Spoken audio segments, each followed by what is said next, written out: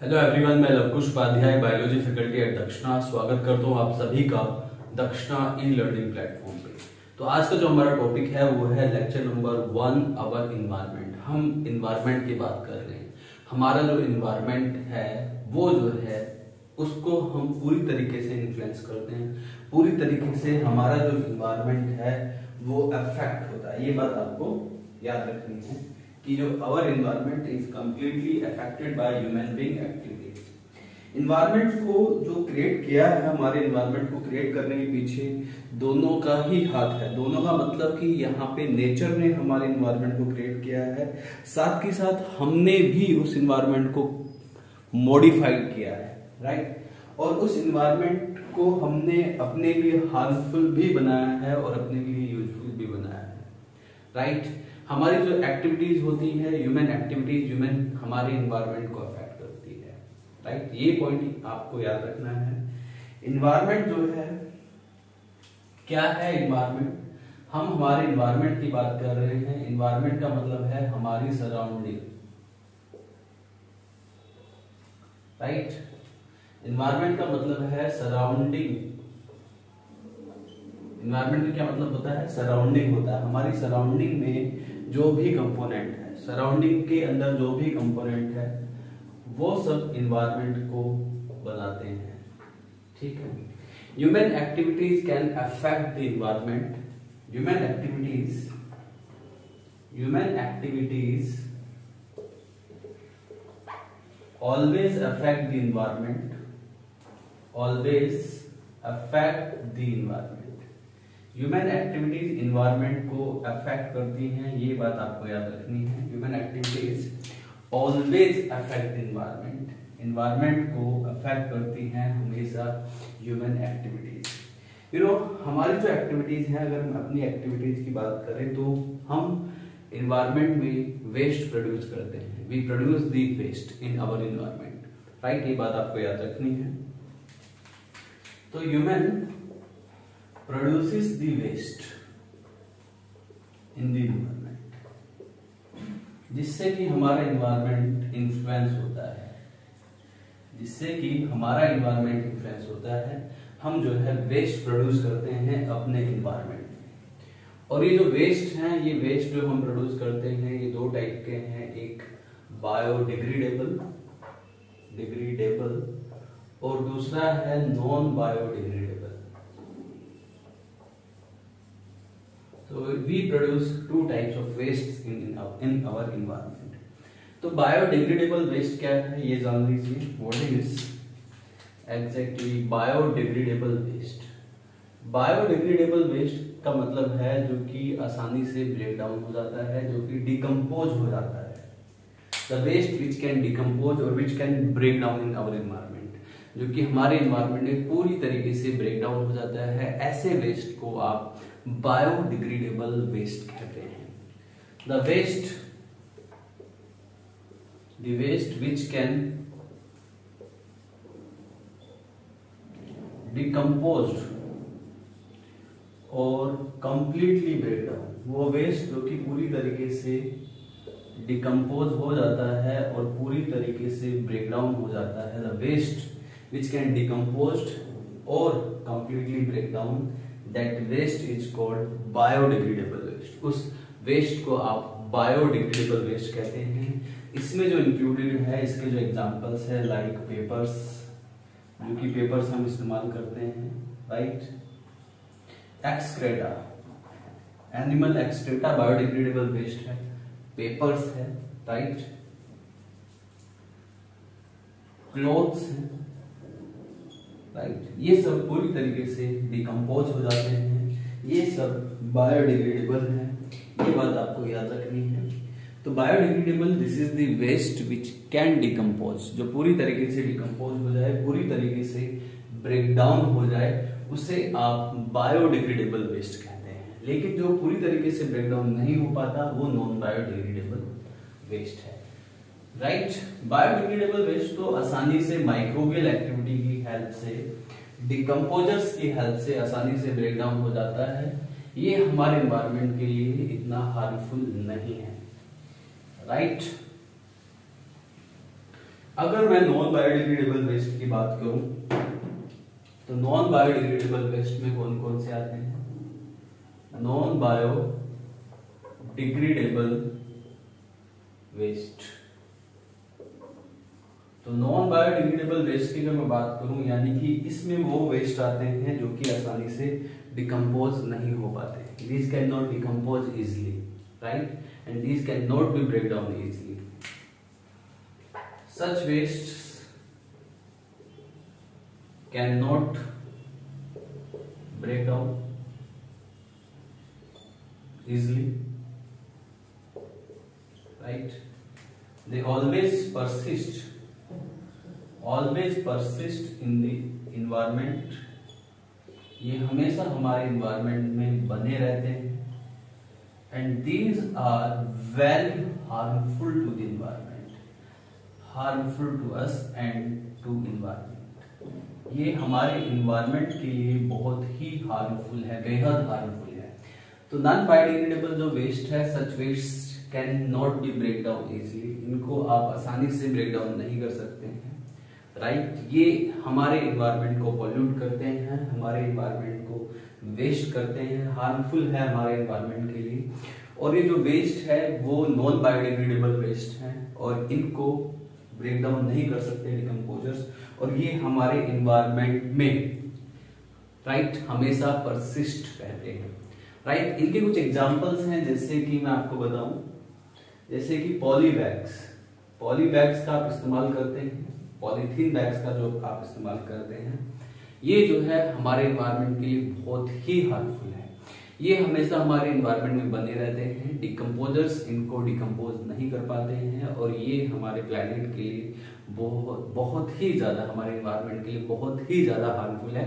And these such kind of you know such kind of waste are really matter of concern for us right अगर मैं इसमें plastic waste की बात करूँ तो प्लास्टिक वेस्ट बहुत ज़्यादा हार्मफुल है हमारे इन्वायरमेंट के वो आसानी से डिकम्पोज नहीं होता है। वो जहाँ भी, जिस भी इकोसिस्टम में इंटरफेयर करता है, उस इकोसिस्टम को बेकार कर देता है। यानी कि इकोसिस्टम को राइट डैमेज करता है। तो ऐसे जो वेस्ट होते हैं, चाहे वो बायोडिग्रेडेबल हो, चाहे नॉन बायोडिग्रेडेबल हो इकोसिस्टम के साथ तो इंटरफेयर करते ही हैं, लेकिन non biodegradable are very harmful because ये आसानी से डिकम्पोज नहीं होते, ये आसानी से ब्रेक डाउन नहीं होते और इन्वायरमेंट में लंबे समय तक के लिए रहते हैं राइट right? जो कि हमारे इन्वायरमेंट को हार्मफुल इफ़ेक्ट इनके, हमारे इन्वायरमेंट होते हैं तो ये जो वेस्ट होते हैं human waste interfere with the ecosystem different ecosystem के साथ इंटरफेयर करते हैं डिफरेंट इकोसिस्टम तो ये जितने भी वेस्ट हैं, चाहे वो बायोडिग्रेडेबल वेस्ट हो, चाहे वो नॉन बायोडिग्रेडेबल वेस्ट हो, ये ह्यूमन इकोसिस्टम के साथ इंटरफेयर करते हैं. Now come to the another topic ecosystem तो ये मैंने आपको बताया अवर इन्वायरमेंट के बारे में. इन्वायरमेंट का मतलब जो भी हमारी सराउंडिंग है whatever which is present in our surrounding that is our environment right चाहे जो भी है, सब कुछ हमारी सराउंडिंग में उसको आप इन्वायरमेंट कहेंगे। और हम ह्यूमन एक्टिविटीज़ इन्वायरमेंट को हाईली इन्फ्लुएंस करती है। ह्यूमन एक्टिविटीज़ हमारे इन्वायरमेंट को जो है बर्बाद करती है स्पॉइल करती है।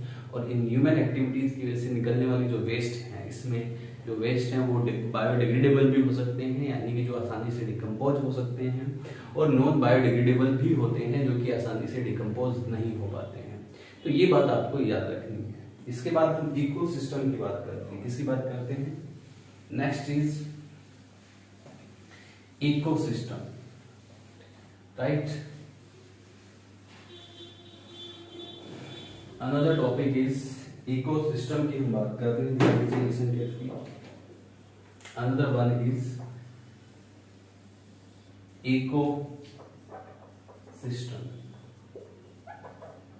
ecosystem क्या है? This is the structural and functional unit of nature nature की स्ट्रक्चरल एंड फंक्शनल जो यूनिट है, उसे आप इकोसिस्टम कहते हैं। तो इकोसिस्टम क्या है? This is the structural and functional unit of nature तो structural and functional unit of nature जो है, वो इकोसिस्टम है। ठीक है? ये स्ट्रक्चरल भी है, ये फंक्शनल यूनिट भी है नेचर राइट और लिविंग वर्ल्ड की एक फंक्शनल आप ये भी कह सकते हैं this is functional unit of the living world right functional unit of the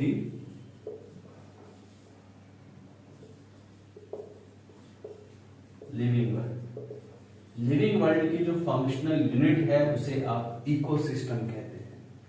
ecosystem में be very small right and very large even एक small pond a very small pond may be a small living system may be a small ecosystem and a large ocean that is also the ecosystem even अगर मैं बात करूँ हमारे complete you know biosphere की, ये भी एक ecosystem ही है। तो इकोसिस्टम में be very small and may be very large like ocean it may be a very small like a garden and it may be very large like an ocean तो जो ecosystem है, वो काफ़ी small भी हो सकता है और काफ़ी लार्ज भी हो सकता है। दोनों ही कंडीशन इकोसिस्टम में देखी जा सकती है। It may be very small और it may be very large तो ecosystem may be very small may be very small और मे बी वेरी लार्ज तो ये यहाँ पे काफ़ी स्मॉल भी हो सकता है और काफ़ी लार्ज भी इकोसिस्टम हो सकता है। ये बात आपको याद रखनी है। It may be very small और it may be very large ठीक है? इकोसिस्टम के हम कंपोनेंट्स की बात करते हैं। अगर बात करें हम कंपोनेंट्स ऑफ़ इकोसिस्टम की so there are two types of components of ecosystem one is biotic component and another one is abiotic component तो इकोसिस्टम के कंपोनेंट जो होते हैं बायोटिक कंपोनेंट होते हैं राइट एबायोटिक कंपोनेंट भी होते हैं। जनरली जो बायो बायोटिक कंपोनेंट होते हैं राइट इसमें includes all living beings includes all living beings इसमें सभी लिविंग बींग्स को आप कंसिडर करते हैं बायोटिक कंपोनेंट में। I will discuss in detail about biotic component also abiotic components में क्या होते हैं? जो भी नॉन लिविंग कंपोनेंट्स हैं, हमारे इकोसिस्टम के all the non living components in our ecosystem that you called abiotic component so all the living beings all the living components are called biotic component components all all non non-livings are called abiotic components. तो हम यहाँ पे सबसे पहले abiotic component की बात करते हैं। अबायोटिक कंपोनेंट में कौन कौन से कंपोनेंट आते हैं? ध्यान दीजिए लिसन केयरफुली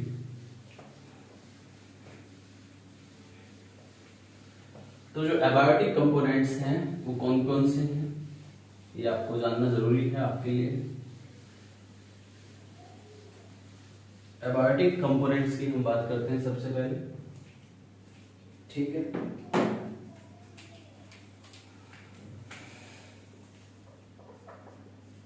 एबायोटिक कंपोनेंट्स तो जैसे कि मैंने बताया, जितने भी नॉन लिविंग कंपोनेंट्स हैं, वो सब एबायोटिक कंपोनेंट्स हैं। Non living components and these components these components make our ecosystem functional ये जो कंपोनेंट्स हैं, ये हमारे इकोसिस्टम को फंक्शनल बनाते हैं। जो भी हमारा इकोसिस्टम है, उसको फंक्शनल बनाने का काम करते हैं ये कंपोनेंट्स और ये जो कंपोनेंट्स हैं, ये मेनली थ्री टाइप्स के कंपोनेंट्स होते हैं। Number one is climatic components number two is edaphic component,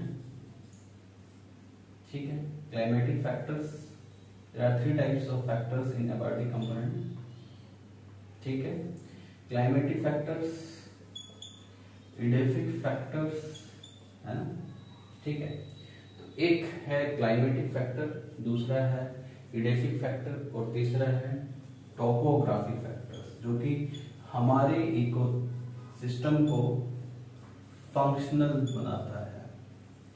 तो अगर मैं बात करूँ क्लाइमेटिक फैक्टर की क्लाइमेटिक फैक्टर्स में जनरली क्या आता है? इसमें इंक्लूड होते हैं non living component wind water rain ठीक है?